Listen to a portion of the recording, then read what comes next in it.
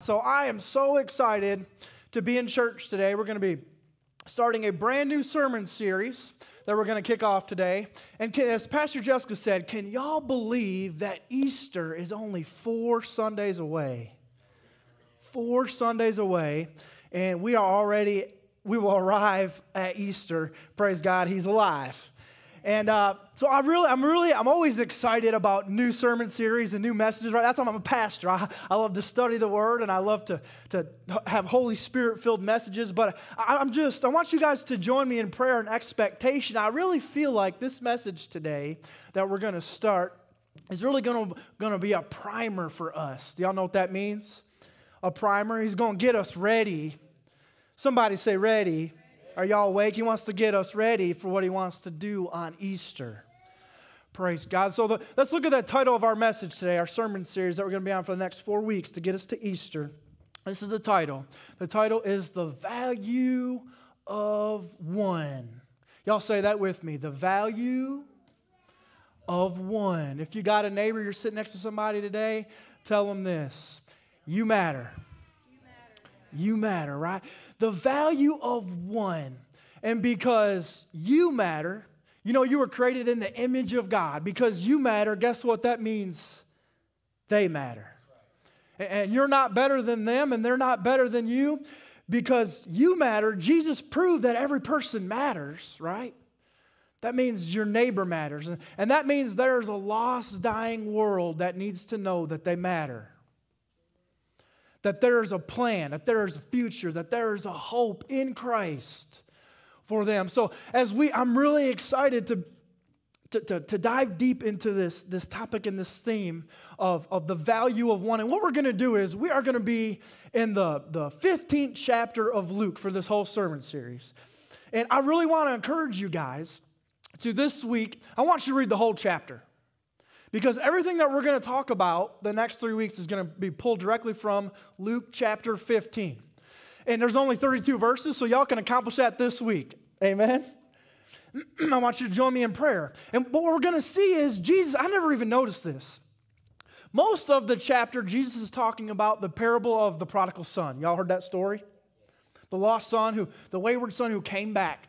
But before that, there's three parables that Jesus preaches on. He preaches on the lost sheep, the lost coin, and the lost son. Can I get an amen?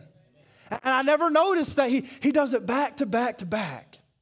And so each week, that's what we're going to do. We're going to focus on each one. Somebody say one. We're talking about the value of one, right? So today I'm excited. We're going to we're going to start the beginning of, of chapter 15 in, in Luke, and we're going to talk about the value of the lost sheep. So we, ha- we have to see this, guys, the value of one. And I'm going to talk about that. Because I feel like sometimes we can get we can get overwhelmed when we see how crazy the world is and we see the world as a lost as it is and how, how, the craziness seems like it's just taken over, right? Is that just me? And sometimes I got to be careful. I get into this discouraging place. And the Lord just reminded me this week you know what? You don't have to save the whole world all at once, you just got to focus on one person at a time, one soul at a time, one person, one sheep. We're going to talk about that today. That Jesus equated people to sheep. And so I'm excited to, to, to, to dive into this with us for the next couple weeks. So let's, let's open our Bibles together. Who brought their Bible today? Their, their sword. You got it? Let's open up to Luke chapter 15. We'll go ahead and read it together. We're going to read verses 1 through 7 as we kick this off. And so we are starting right there at the beginning, we're talking about the parable of the lost sheep. It might be uh, headlined or titled that in your Bible. But look at verse 1. It says, Tax collectors and other notorious sinners often came to listen to Jesus teach. Did you ever notice that? It says tax collectors and other notorious sinners. That stuck out to me this week. Notorious sinners came to listen to Jesus preach. It says, This made the Pharisees and teachers of religious law complained that he was associating with such sinful people, even eating with them. Everything after verse 1 and 2 in chapter 15 of Luke is all red letters. Everything that Jesus preaches and teaches for these next 30 something verses, there's 32 verses. He is speaking and teaching and preaching directly to what the Pharisees think and see themselves as better than others. Totally related to verse 1 and 2 is this is Jesus' response. So look at verse 3. It says, So Jesus told them a story. Verse 4 If, if a man had a hundred sheep and one, what's the title of our message? one, the value of one. And, and Jesus says, if a man had a hundred sheep and one of them, just one of them gets lost, what will he do? Won't he leave the 99 others into the wilderness and go and search for the one? There it is again. That the lost one is until he finds it, and when he has found it, he will joyfully carry it home on his shoulders. And when he arrives, he will call together all his friends and neighbors, saying, Rejoice with me, because I have found my lost sheep. In the same way, there is more joy. Y'all say that with me. More joy in heaven over one lost sinner who repents and returns to God than over the 99 others who are righteous and haven't strayed away. Can I get an amen? There is inherent value in every single person and so Jesus says, How much more joy in heaven happens when, when one lost soul returns? How much more joy? And so we have to see this, guys. I know some of us, we've been following God, right? We've been following God for maybe 5, 10, 15, 20 years. Keep following God. But don't forget why we're following God. You're following God because one day you were that sheep. Am I speaking to any lost sheep? I was lost. Ian was lost, but praise God, now I am found. Ian was blind, but praise God, now I see. And because God found me, praise God, I want to help find others. This is the thing you got to know. You know, when something's lost, when something gets lost, it'll stay that way until somebody finds it. It's the same with people. If people are lost, nine times out of ten, they won't be found until somebody goes and finds them. The prodigal son, I, I, am a prodigal son, but I'm so thankful that I made it by his grace to that moment of clarity that happened in my pigsty. But if you sit in the pews and you say, well, so and so's often sin, so and so's doing this, so and so deserves what they get, so and so, hopefully they wake up. What if Ian would have died before I got to my moment of clarity? I'm thankful I didn't, I didn't die. Right? Some people don't make it to that place. So God wants us to facilitate the kingdom of God through faith, inviting others into what God is doing. Can I get an amen? Do we have any God seekers in the place? I hope you came to seek God today. I hope you didn't come to just hear what I have to say or, or hear the worship team. They're awesome. I love to come and listen to them. I hope you came to seek God today. I hope that's why you're here. If you are a God seeker, you need to hear me. That means you should be a people finder. If you're a God seeker, you need to be a people finder. We can't be in hiding anymore. The Lord showed me, I feel like there's a lot of Christians in the world that are hiding. They've been born again. They was lost, now they're fine. They were blind, now they see. But they're, they're, they're dealing with things. We all got things we're dealing with. We all got junk but they're, but they're, they're supposed to be seekers. They're playing a game of hide and seek. They're supposed to be seeking for the kingdom of God, helping others, loving others, forgiving others, but instead they're dealing with so much of their own stuff they can't get past seeing what's going on in their lives. They are hiding from the things of God. We can't change the world and turn it upside down for His glory if we're hiding, guys. And we got Easter four weeks away, and there are people that are lost. They're, they're desperate. They're hopeless. They want some hope. And guess what? That means they may come to church. And I hope they do. I hope they come. I hope these seats are packed here and in Arab. And it's a moment for people to say, you know what? Maybe this Jesus guy is real. And we need to be God seekers and people finders for his glory. So look at that first point today. As we just read, that parable of Jesus says, right? He describes lost people as lost sheep. In each parable, he reinforces the idea that one soul, one life, literally every person matters to God. And if they matter to God, they should matter to us. Can y'all agree that our world is lost? Praise God, there are saved and, and found people in it. But as I was saying at the beginning of this, we can't be disillusioned. We can't be discouraged. We can't be dissuaded by that mass numbers of people that are, are lost. And we need to see the value in one. Did you see what Jesus said? He said, Won't the, won't the shepherd leave the 99 to go after the one? Try to wrap your mind around that. He has 99 sheep. We would think that's more valuable than if I just had one sheep, right? Right?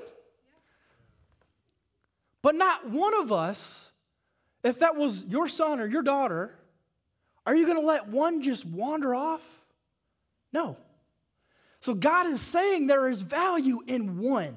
The same value that I have in all these 99 that are doing what they're supposed to be doing is the exact same, somebody say same, as this one sheep that has wandered off, that is lost, that is discouraged, that may be, may be not just lost, maybe some are evil, maybe some are, are doing evil. We're going to talk about that. I, I really want to drive home a point today that just because I'm a lost sheep, it doesn't mean I'm necessarily even evil.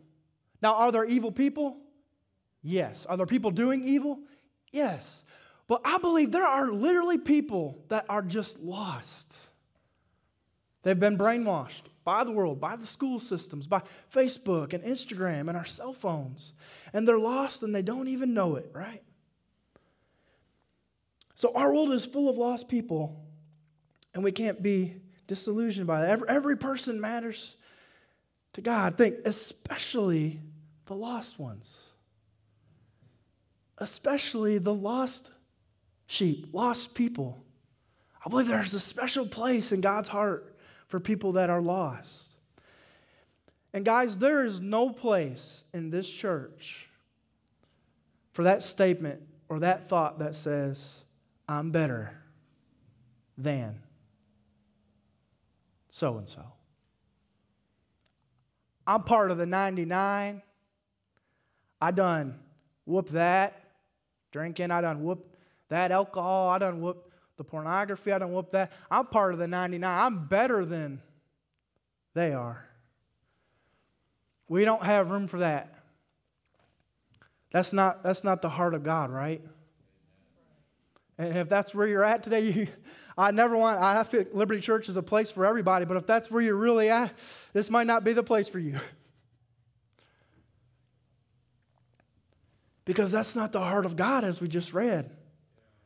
If God really found me and, and brought me back into his good favor, into his good grace, that should really move me to a place of compassion that says, you know what? I, I'm not better than anybody, but you know what? I want to get better with you. I'm not better than anybody, but let's get better together. Let's get better together, right? Come on, somebody. None of us are perfect. We're all getting better day by day in pursuit of our relationship with Jesus Christ. So look at that next point. Look what it says. I kind of already touched on this for a moment. Look, it says, lost sheep aren't evil sheep. They aren't rebellious sheep. They are lost sheep. They've wandered off the path and have gotten turned around.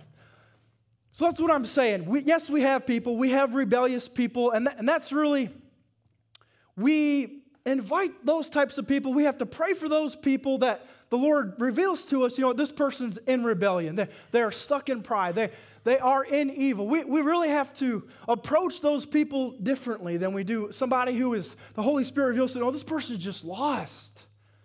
You know, this person, he's, they've been abandoned. This person, they didn't have parents. This person's been raised on social media. This person's been raised by the, the public education system. This, this person doesn't even know really right from wrong. This, we have a world full of these types of people. Do you see that? And this is really the types of people that I think the Lord wants to just, they, we don't want them woke, but He wants them to be awakened spiritually. A lot of people have heard Jesus, but a lot of people don't know Jesus as their personal Lord and Savior. Come on, somebody.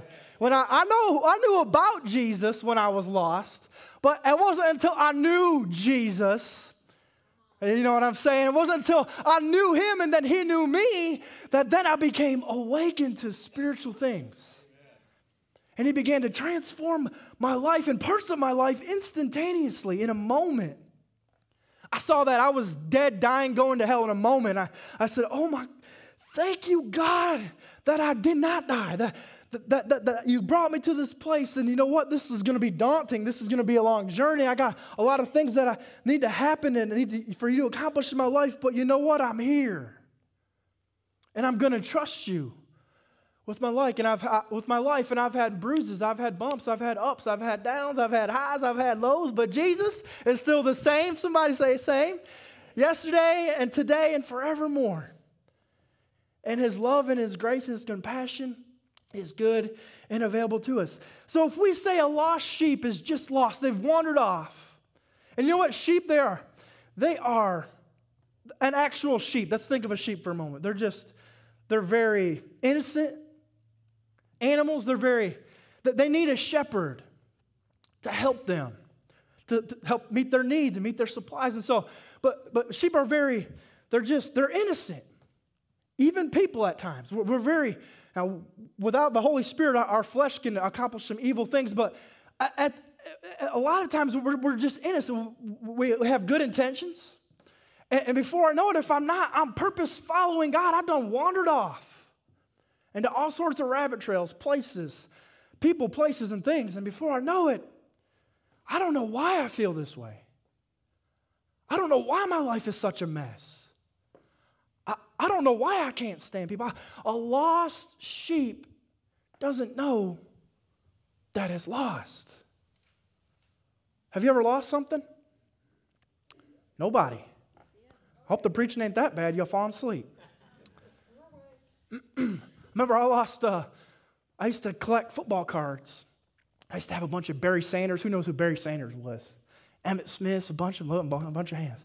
Man, I don't know how much money I had in the cards, and I lost them. And some, I don't know if they've ever been found. I never found them. Something that's lost will stay lost until it's found. But a lost sheep, like unlike a thing that gets lost, a, a, a lost sheep oftentimes doesn't know it's lost. It's just wandering. I want to tell a story.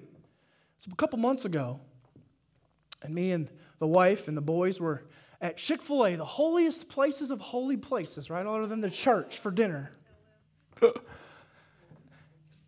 and guys, if you parents, any parents in the house, have you ever lost your kids? Well, your pastor lost his kid for a moment. Pastor Jessica was out with Bodie sitting in the booth doing their thing, and I was in the play place with Xander, and he was doing his thing, playing. And I was watching, watching, watching, and I, he went out the door. And uh, I knew Jessica and Bodie was there, so I didn't really think much of it. Few, few 30 seconds, maybe a minute goes by. What do I do? Pull out my phone. Scroll on my phone. Y'all don't do that, do you? then kind of a little time clock goes off in my eyes. It's been a couple minutes. I look, I turn my head, Jessica and Bodie are not there. So I'm like, what? I go out, I'm looking, Xander, Xander. a couple people are sitting looking at me. And then all of a sudden, my heart starts beating on my chest a little bit. Y'all know that feeling? Anybody ever felt that feeling? I started getting sweaty. I said, Did y'all see my son? They said, No. I said, Xander. Sorry, my voice started getting kind of high. Xander. Xander, y'all see my son? No. I go outside. Xander, my thing is, what if he gets, goes out in the parking lot? He's very adventurous. He gets that from his dad, I think. He wasn't out there. Just about the moment it said, you need to go check the bathroom, then comes Jessica, Xander, and Bodie. And all in a moment, everything is good, but Jessica's kind of giving me that look, right? Do you know where he came? He came into the bathroom. But I share all that, and praise God, he's, he was lost, but now he's found. But I sure have to say is, Xander had no idea that he was lost. But this is what I want you to see. This is how cool your God is. Who did it affect? The Father. Amen. Did you hear what I said? Xander had no idea he was lost, but the Father sure did. And there's no way, think of this, how crazy would this be? If we just couldn't find Xander, and we said, well, let's go on home. We got Bodie with us. We'll go home and get a nap and call it good. That would never happen, right? Because there's value in one. Come on, somebody. I still have one that's found, but I had one that was lost. And so, church, this is what you got to see as we're getting coming upon Easter. There are lost people that is grieving the Father of God right now. And you may be sitting in the pew singing, I got my fire insurance. I know Jesus. Yeah, but he has a son and a daughter that don't. And God wants to use his church to find them. We said, if I'm a God seeker, I need to be a people finder. And you better believe I was trying to find Xander. I didn't care what I looked like, I didn't care what I sounded like. I was a father in distress. And, church, what if we looked like a church that was distressed, looking, finding, loving, forgiving, inviting people to church to hear truth and to experience a real God? Right, look at Matthew 9. We're going to read 35 through 38, but I want to read just 9, um, 35 through 36 first. Look what it says. It says, Jesus traveled through all the towns and villages of the area, teaching in the synagogues and announcing to the good news about the kingdom. And he healed every kind of disease and illness. And when he saw the crowds, listen, he had compassion on them. Why? Because they were confused and helpless. Like what? Like sheep without a shepherd. If we know that our world is lost, we've all agreed on that already. If we know that our world is helpless and confused, and if we serve a loving God, we have to be moved in compassion. Literally, moved by compassion. Pastor Ian is also a father. When I lost Xander, the, the role of father, you better believe I was a little scared, a little terrified, but I was being moved. I was physically moving, shouting, asking people, looking up under things for my son. Jesus, what did he do? Because he was moved in compassion. Everywhere that he went, he preached and taught. He healed. He didn't care what other people thought, religious people thought. He was in the cracks and the crevices, the dark and the light places, loving people, healing people. And so we got to get over the fact of what other people may think about us because I'm so in love with Jesus, because Jesus was so in love with me that I don't care what I look like. I am going to look for people to bless, to love, to invite to church, to pray for. I am going to be looking for people. And the thing is, we all know somebody. Probably in our family, a circle of friends, somebody at work. And we need to be literally moved. When you don't have the guts or the faith or the confidence or the boldness to do that thing that the Holy Spirit has asked you to do, you got to ask the Holy Spirit, I need you to stir me with compassion. And if you have compassion moving you, you'll get some things done for the kingdom of God if you can be moved literally by compassion. Did you see what Jesus said there in verse 36? It says, when he saw the crowds, he had compassion from the Father fell. So we have to have a compassionate faith that sees people sees what they're going through, sees, has the grace to say, you know what, maybe I think about this person this way, but in reality, I have no idea what is really going on in their life. And I've done judged them, and I've done stamped them. And that's what the world wants to do to you, right? They want to categorize you and label you. And you don't want that done to you. I don't want that done to me. And so I think I know this person, and I've already done, you know what? I done checked out on them. And I have no idea what's really going on in their life, what has gone on in their life. And that is not compassion. That is, the, that is judgment. God wants us to be living in compassion for others. An inclusive God. Seeing the inherent value in one. In one. Look at the next point. So, our world is filled with confused, helpless people like sheep without a shepherd. Jesus had compassion for the lost sheep, and he commands us to pray. And we're going to read uh, verses 37 and 38 here in a moment, because he rolls right into what we just read about being moved with compassion for the people, for the crowds, and he moves right into the statement that y'all are going to recognize.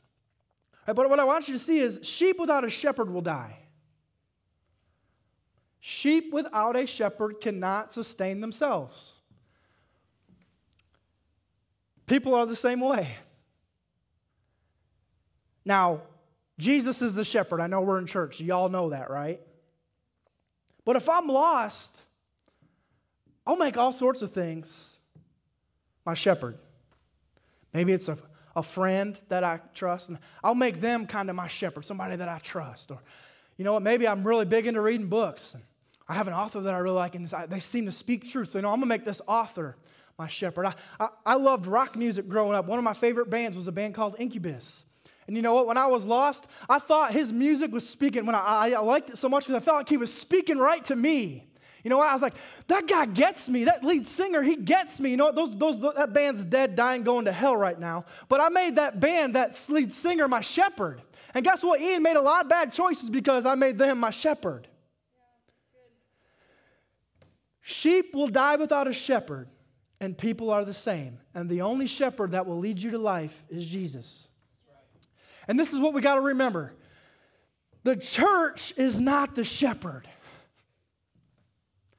The church's responsibility is to lead others to the shepherd. And I feel like we're not one of those churches, but there are some churches, you know what? They feel like maybe we're the shepherd. We got the answers. Just come to us. We'll help you. And that's what we're, we're called to do, right? But if we lose sight of the fact of what we're called to do is leading the people, leading others to the shepherd, we ain't going to make it.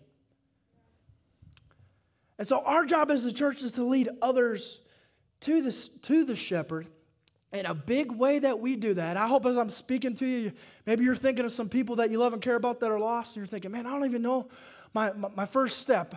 I'm, I'm really going to challenge you to invite these people to church this year. We're going to talk about that. But I, want to show you how simple it is. What, what's my first step? How, you don't have to preach a message, you don't have to say a scripture. The first step is to pray.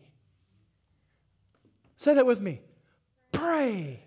A short four letter word is to pray. Step one is always prayer. So look at, let's stay there in Matthew 9. Look at verse 37 and 38 It says, Then he said to his disciples, The harvest is plentiful. Y'all remember this scripture? Who's heard it? Right? The harvest is plentiful, but the laborers are few. Therefore, what does it say? Pray. He says, Therefore, pray earnestly to the Lord of the harvest, to God, the Lord of the harvest, where everything is in God's hands, right? To send out laborers into his harvest. Jesus is saying this the possibilities are endless. The possibilities are endless. Think about that. The harvest is plentiful, but the laborers are few. The possibilities are endless, but the participants are few. We could accomplish so much, Jesus is saying. There's, there's so many things the Father wants to do. There's so many things God wants to do in and through LCHP. He wants to pave our parking lot, but the participants are few. We got less than 10% people who faithfully give their tithes every week. He wants to save lost people. He wants to help people pay their bills. But the, the, the, the, possibilities are endless. The, the, the, the harvest is, is plentiful, but the laborers are few. The participants are few and far between to find. He's saying there's, there's souls for the reaping, lost children, lost sheep that grieve the Father. But nobody wants to get off their couch and off their phones and scrub one weekend a month to help at the church because they got all this other stuff going on. I get it. We're busy. We got stuff. We got ball games. We got plays. We got school stuff. But if you really believe and say that Jesus, King Jesus is number one, you can't make out one weekend to serve in the church. Sorry if I'm stepping on some toes today. The possibilities of what God wants to do in and through our church, in and through the church, the global church, in and through his kingdom are endless. But the participants are few. I want to ask you today are you a willing participant in Liberty Church, Holly Pond? If you are, I'm thankful. Because the laborers are few, Jesus said. And he said, Because laborers are few, you need to pray. So I said all that to give you some hope. We can begin to pray to God of the harvest for laborers. And this is what I want you to do. I want you to join me and Pastor Jessica, and me and Pastor Keith, and Pastor Kelly, and you, if you are a, a group leader, a, a, seven pillar leader, we got any pillars in the house? Raise your hands. Raise them up high. Thankful for you folks. I want you to join these folks with their hands raised to pray for the laborers to accomplish God's will here and what He wants to do. So we must pray. Look at that next point. You got to see this in prayer. When we, by faith, pray for other people, identify other people, lost sheep, People, we pursue the lost through prayer. Prayer is our weapon of warfare that brings people out of darkness into God's glorious light. Prayer is how we identify people and begin to pray God's will around them, around their lives, around their families. We identify and we pray and we war for them. We stand in the gap for them. And here's the good news they don't even have to know that you're praying for them. But every day you're making their battles, their storms, their tests. What are you doing? You're putting their, st- their stuff, their junk on your back. Come on, somebody. What if I told you that your prayer life could affect somebody else's life? What if your prayer life has the ability to totally change somebody else's life. Does anybody remember who Pastor Rick was? Rick Laster? Awesome guy, awesome man of God.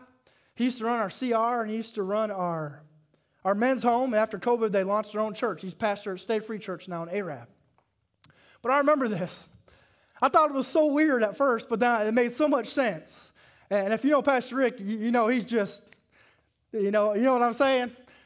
And uh, he, just, he just speaks just regular lingo. And he said, You know what? You just need. He was talking to a mom. She, I used to help do intake at the house. And he was talking to the mom. She come in and she's like so distressed that my son's lost and out there. And, you know, she's telling this story and it's grieving my heart. And Rick's just, he's heard a lot of these stories. And, and, not that he wasn't moved in compassion, but he said, you know what, you, you need to just pray that he get arrested and go to jail. And as I was sitting there, I was thinking, man, he's not really giving her much comfort.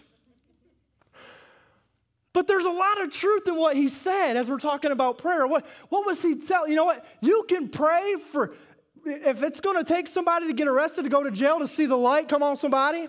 God can use a jail place. He used it on a lot of disciples, on Paul, on Joseph. And so, as we pray for people, Maybe, maybe there's certain things we need to pray God to do to, to help shake these people up or wake these people up. And God can use anything. He can use a jail cell. He can use you. He can use a teacher. He can use a grandma. He can use an aunt. He can use an uncle. Right? Nothing's off the table. It's all in God's hands. And so praying for someone is always, you got to know, is always the starting place And when you start with prayer, God begins to then open up divine doors into their life for you to then begin to do the big things that you probably started with in your mind. When I said, I want you to invite somebody to church, you immediately went to the big places. I don't know enough scriptures, or I don't know what I'm going to say. And God wants you to start with prayer. And if you can begin to pray for somebody for, for 10, 20, 30 days, we've got 30 days until Easter. If you can begin to pray for them for 30 days, maybe God can begin to prepare their hearts before you go ahead and invite them. So, step one is always prayer, and then God begins to open divine doors. Did everybody get one of these cards that Pastor Jessica was talking about? If you got it, wave it at me. Wave it at me. All right, I want you to look at it. We're talking about the value of one. On the front, we got James 5:16. These are the scriptures we're going to use to pray. For some lost people that we're going to invite to church, Romans 14 through 15.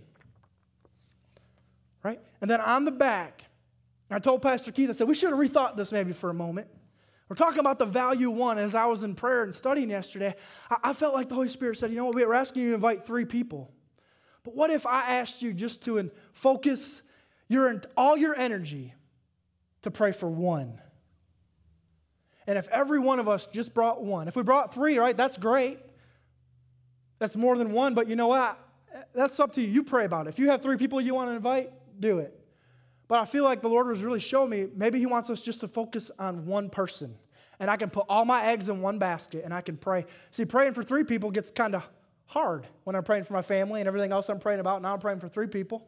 If you want to do that, great.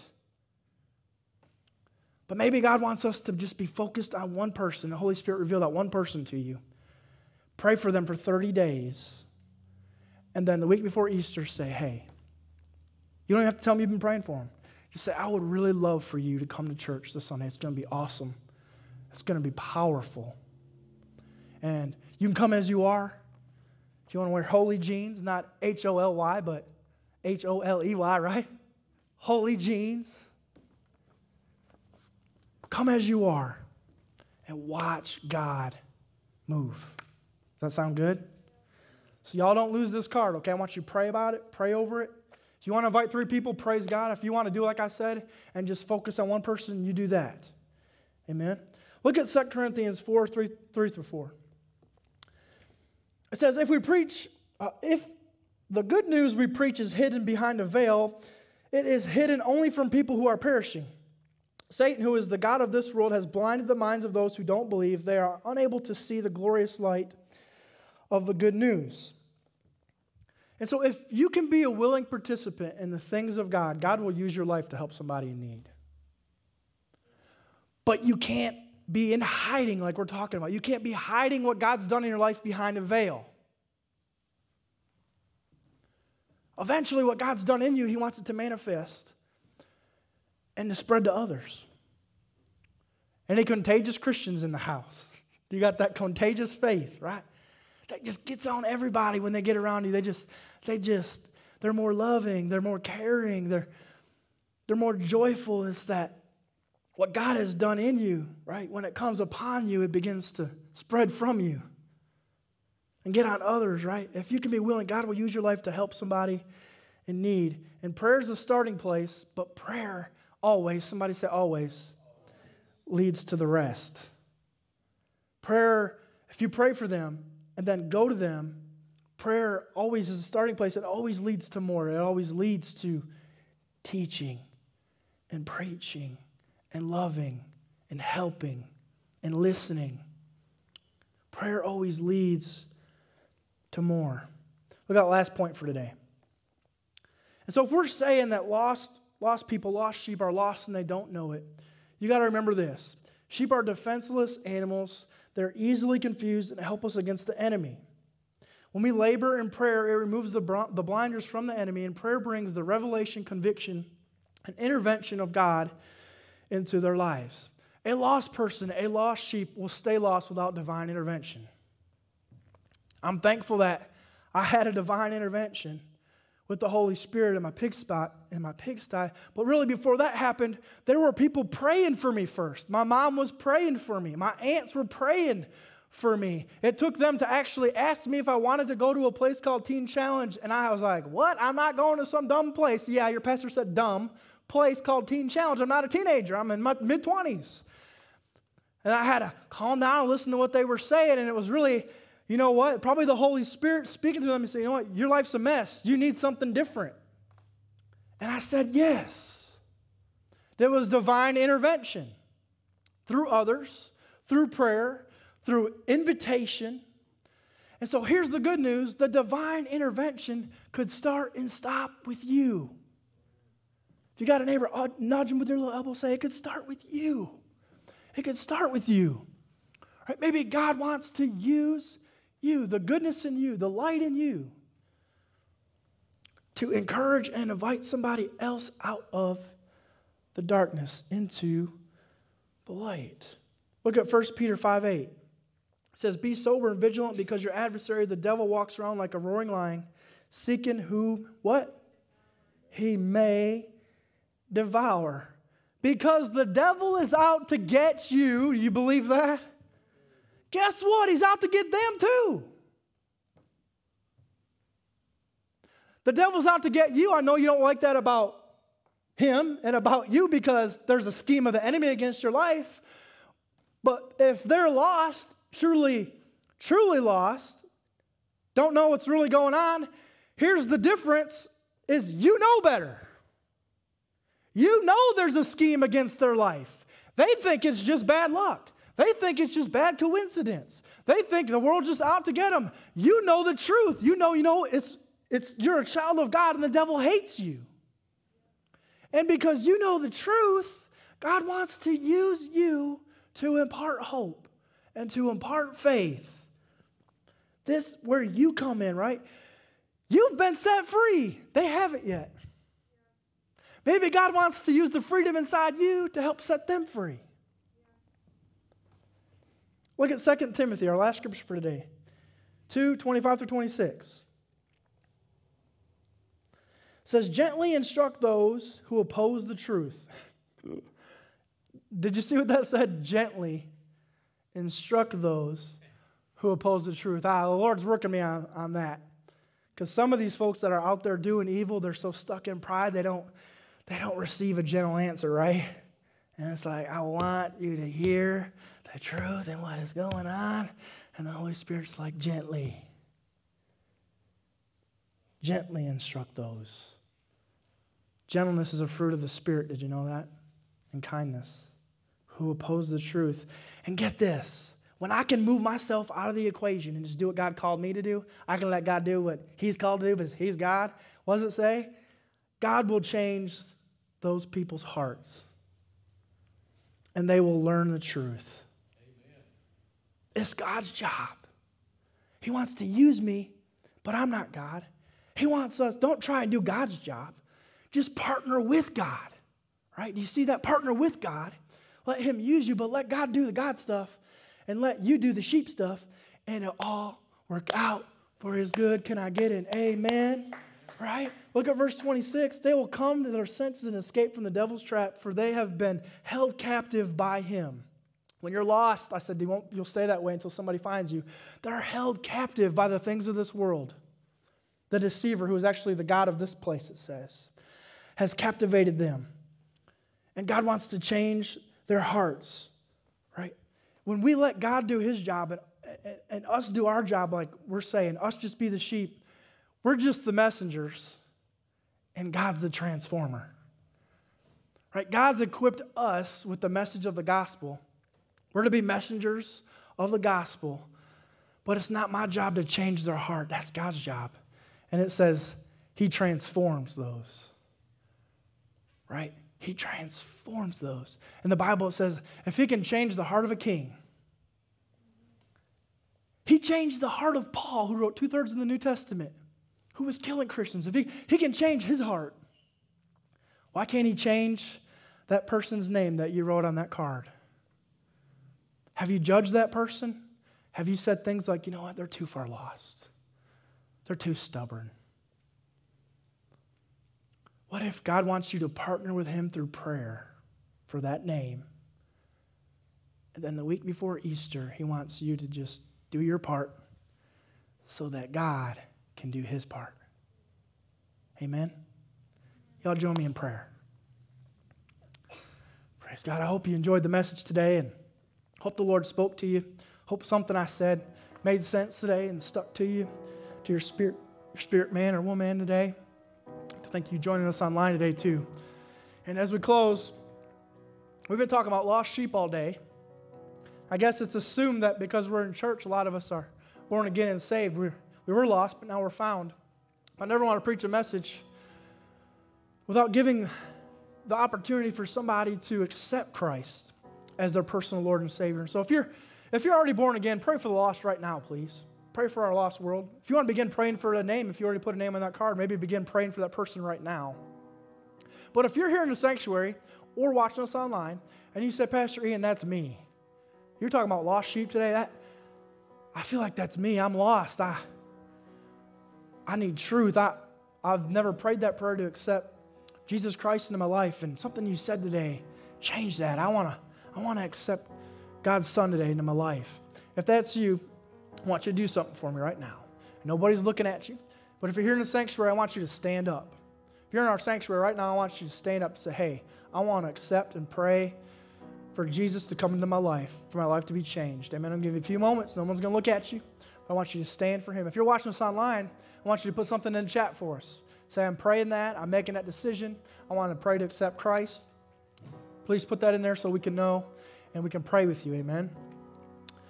Amen. Give you a few seconds. Amen. Amen. Well, no one is standing in our location, but somebody could be praying this online with us. So I'll lead us on a prayer, okay? Y'all, y'all pray with me. It's going to go like this Heavenly Father, we love you. We believe in you. We accept your Son. We confess that Jesus is Lord of my life. Forgive me of my sins. Forgive me of my past. And send your Holy Spirit to redeem my future. In Jesus' name I pray. Amen. Amen.